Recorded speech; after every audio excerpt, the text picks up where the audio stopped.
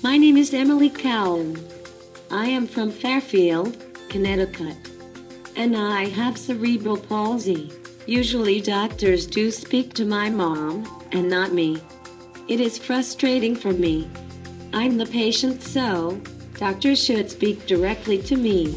It would be easier for me to explain things by myself. I understand everything. They need to be patient when I talk. It's like they don't want to take the time to understand what I'm saying. It would be good if I could text or email my doctor. I would